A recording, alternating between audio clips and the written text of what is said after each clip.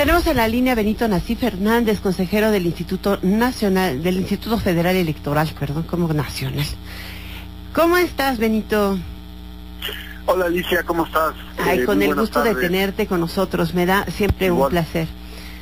Hay eh, Alicia. dos temas con los que me encantaría platicar. Uno que tiene que ver con lo que ayer sacaron, esta redistritación. Hay distritos que bajaron, eh, o sea, hay, hay- hay estados que bajaron el número de distritos y hay estados que subieron en- el número de distritos.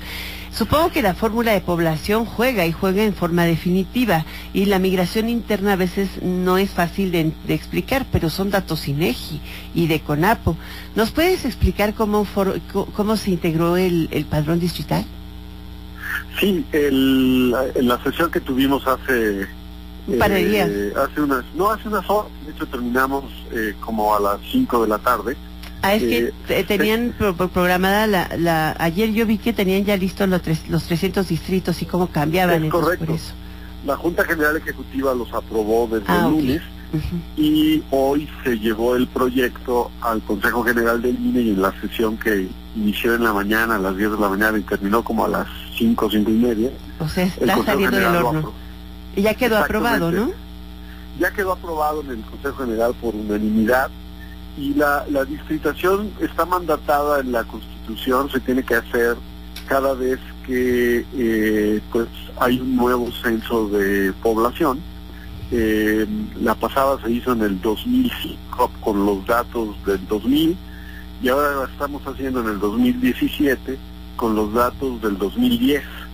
El país pues ha cambiado mucho en esos eh, entre el 2000 y el 2010 y la nueva distritación pues lo que hace es actualizar la, la cartografía electoral, la, cartografía eh, política del país para las elecciones federales, pues eh, a partir de eh, esos eh, pues movimientos de población, tasas diferentes de crecimiento. ¿Por qué se hace con, la da- con el, perdón que te interrumpa, ¿por qué se hace con el dato del 2010 y, o con el censo de población del 2010 si, si hay una actualización del INEGI para el 2015? Eh, bueno, porque tenemos que eh, trabajar con los datos que resultan del censo, así está mandatado, no con las proyecciones que Pero se aquí hacen es una encuesta intercensal que está en la ley. Eh, es correcto, pero la Constitución se refiere al censo de población y eh, lo hacemos cada vez, cada 10 años se dispara el, el proceso, depende de cómo estemos, en cómo eh, tratamos de compaginar el calendario de las elecciones con el del con el del censo. En el íbamos a hacer esta distritación en el 2013 Ujú. pero se atravesó la reforma electoral que se concretó a, a finales en diciembre de ese año y entonces eh, eso ya suspendió la distritación y la terminamos de hacer ahora hasta el 2017 con los datos del 2010. ¡Qué impresión! Ahora, sí es un tema, pues igual por eso se mueven las cosas.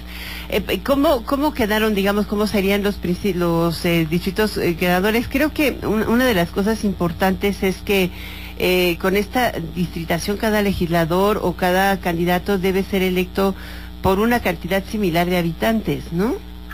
Es correcto, el- la constitución lo que, man- lo que mandata es que los distritos sean, eh, eh, tengan una población, incluyendo eh, personas, eh, eh, digamos, menores de 18 años que todavía no son ciudadanos, así como los ciudadanos registrados en, en, en el, en el padrón electoral.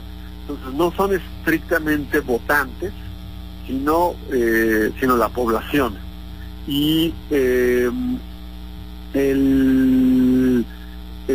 lo que garantiza la distritación cuando se hace es que cada diputado federal representa a una unidad geográfica con la misma población y eso nos acerca al principio de eh, pues una persona un voto, aunque no lo garantiza, porque el referente es población, no padrón, Alicia.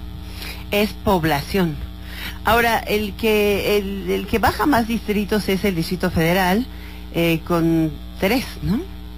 Es correcto. La Ciudad de México, que es el, digamos, nuevo nombre oficial de lo que antes conocíamos como el Distrito Federal, es el, el gran perdedor en este proceso porque eh, en comparación con otras entidades como el Estado de México, Chiapas, Jalisco, me parece que ahí está también incluso Guanajuato, Querétaro, eh, en, comparación con estos estados pierde población y pierde tres distritos, tenía 27 y eh, baja a 24. Sigue siendo el, el estado, el segundo estado con más distritos, pero, eh, pero ha perdido tres ha perdido tres. Ahora, en, digamos, ganadores ha sido Chiapas, Guanajuato, eh, Jalisco, Estado de México, Querétaro y Quintana Roo. Eh, perdón, también Tamaulipas. ¿Esos han aumentado de población? Es, han aumentado en términos relativos, es decir, en, eh, y en términos absolutos también, porque la población ha venido ha venido creciendo. Pero otros estados pudieran haber perdido aunque su población aumentó, pero no aumentó al ritmo que están aumentando los estados que más crecen. Mm. Aunque son pocos, la mayor parte de, los estados se mantiene igual el número de distritos. Los que pierden son que Veracruz, Sinaloa, Puebla, Oaxaca y el Distrito Federal, que es el gran perdedor. Exactamente. Distrito Federal, federal eh, la Ciudad de México pierde tres y los otros solo pierden uno. Si tú me pudieras decir, que, o, ahora que lo aprobaron, eh, ¿cómo, ¿cómo advierten este padrón? ¿Es robusto? ¿Cómo Esta este distritación facilita tener un, padrón bien robusto, bien proporcionado, pues auditable. el, referente no es el padrón, el referente es el censo.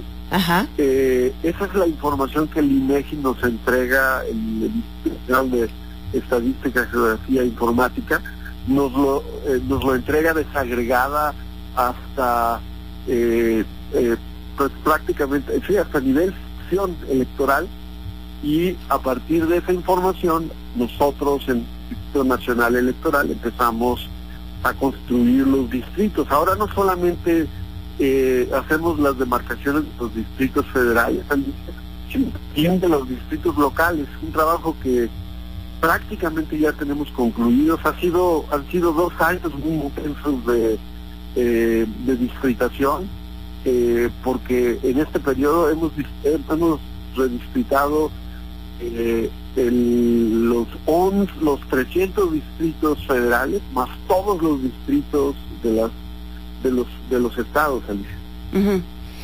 Ahora, hoy hoy ya se emitieron se emitió la normatividad para retirar la publicidad de, eh, de los poderes federales y locales, así como de la Ciudad de México, eh, retirar toda propaganda gubernamental en medios de comunicación. Eh, eh, digo, a partir del, del 4 de junio que se realizan las o el 4 de junio que, que se realizan las elecciones en Coahuila, Estado de México, Nayarit y Veracruz, es donde se va a mantener el suspenso. ¿Por qué si nada más son cuatro entidades? Bueno, lo que La constitución, lo que la Constitución eh, dice, Alicia, es que una vez que inician las campañas, se tiene que suspender la propaganda gubernamental, excepto aquella que esté relacionada con los servicios de educación, salud, y, y eh, y emergencias que son este, protección de la población. ¿no? Pero y, pero pues son son cuatro estados los que están en juego, no son elecciones federales. Solamente en esos cuatro en esos cuatro estados, en, ah. el Estado de México, en Veracruz, Nayarit eh, y Coahuila, una vez que inician las campañas. Lo que aprobamos el día de hoy en el Consejo General eh, son eh, lo que qué campañas de difusión, sobre todo del gobierno federal, encajan en estas excepciones eh, porque hubo solicitudes de instituciones como el Infonavit, por ejemplo, que tiene su campaña para eh, la solicitud de créditos a la vivienda. y otras instituciones que tienen campañas y que no impactan la materia electoral, pero que eh, es importante no suspender porque son campañas de educación financiera, como en el caso del Infonavit, o eh, eh, campañas que tienen que ver con la educación de la población en materia de seguridad o, el ejercicio de algunos derechos, o tienen que ver con salud. Y entonces nosotros lo que hemos venido haciendo tradicionalmente es darle certeza jurídica a, a quienes llevan a cabo esas campañas para que puedan seguirlas haciendo una vez que empieza el periodo de campañas en estos estados, Alicia. Pues muy completo, Benito Nasif, como siempre, muchas gracias por estar con nosotros, al consejero del Instituto Nacional Electoral en esta tercera emisión de Enfoque Noticias. Gracias. Soy yo quien agradece la oportunidad, Ali. Muy buenas tardes. Nos vemos pronto, Benito. Gracias.